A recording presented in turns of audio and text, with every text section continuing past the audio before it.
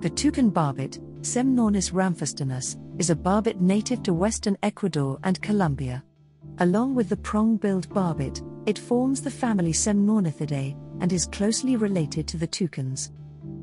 It is native to humid montane forests, where it occupies all levels of the canopy, and is found in both primary and secondary forests, as well as forest edges. It is a medium sized barbet with a robust yellow bill. It has striking plumage, having a black head with grey throat and nape, red breast and upper belly, yellow lower belly, and grey wings and tail. Both sexes are almost identical, except for the female's plumage being slightly less bright, and the female lacks the tuft on the black plumage of the nape.